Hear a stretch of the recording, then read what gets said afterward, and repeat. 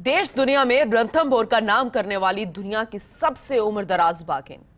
सबसे ज़्यादा 11 बच्चों को जन्म देने वाली और जिसकी विश्व में सर्वाधिक फ़ोटो खींची गई। और तो और जिस पर बनी फ़िल्म को राष्ट्रीय पुरस्कार मिला हो। उस बाघिन मछली की आज सातवीं पुण्यतिथि है। देखिए, बाघिन मछली की पुण्यतिथि पर फ़र्स्ट इंडिया की एक खास पेशकश। रणथंभौर की बाघिन मछली सात साल पहले आज ही के दिन इस दुनिया को छोड़ गई थी। मछली ने एक बार 10 फीट लंबे मगरमच्छ का शिकार किया था। 11 बच्चों की माँ मछली को लाइफ टाइम अचीवमेंट अवार्ड मिल चुका है।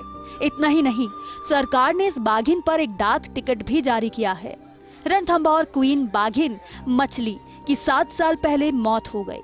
उसका जन्म उन्नीस सौ सतानवे में हुआ था। उसे मछली नाम दिए जाने के पीछे भी एक रोचक कहानी है। उसकी माँ के चेहरे पर मछली के आकार का एक चिन्ह था। इसीलिए बाघिन को मछली नाम दिया गया।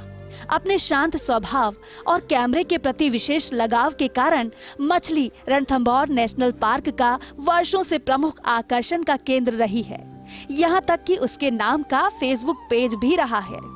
उसने 11 बाघों को जन्म दिया, जिनमें सात मादा और चार नर थे। इससे मछली के कुनबे में बढ़ोतरी हुई। पार्क में बाघों की संख्या के 60 फ़ीसदी हिस्से का संबंध उसके वंश से ही है। मछली ने रणथम्बोर में उस वक्त शावक दिए और उन्हें बचाया, जिस वक्त रणथम्बोर में और राजस्थान के अन्य जंगलों में शिकारी सक्रिय थे।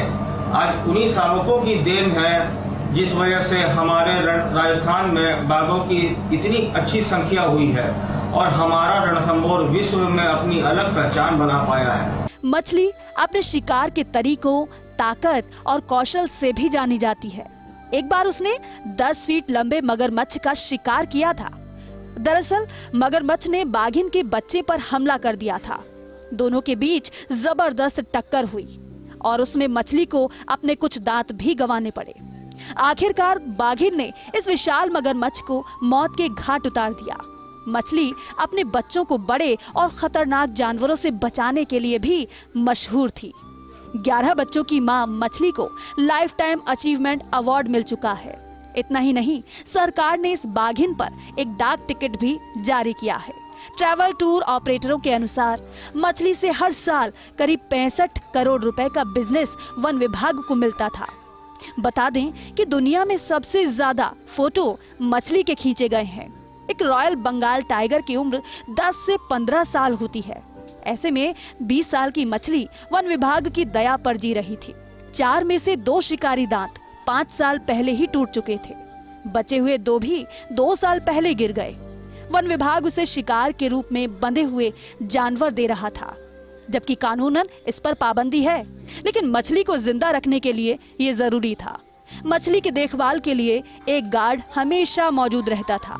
मछली पर प्रख्यात फिल्मकार नल्ला मुथु की बनाई फ़िल्म को राष्ट्रीय पुरस्कार भी मिल चुका है। नल्ला मुथु और मछली के बीच एक अनूठा रिश्ता रहा। मुथु मछली के जीवन काल में अधिकांश समय उसके इर्द गिर्द ही रहे। उन्होंने ऐसे ऐसे शॉट मछली पर फिल्माए जो अनदेखे और किसी अजूबे से कम नहीं थे। मछली की मौत के बाद तत्कालीन वन मंत्री गजेंद्र सिंह खीवसर ने रणथम्बौर में मछली मेमोरियल बनाने की घोषणा की थी। इस मेमोरियल का डिज़ाइन और स्थान भी फाइनल हो गया, लेकिन आज तक इस मेमोरियल का निर्माण नहीं हो सका है। उम्मीद की जानी चाहिए कि अब जल्द ही मछली मेमोरियल का निर्माण होगा। Nirmal Tiwari, first India news, Jaipur.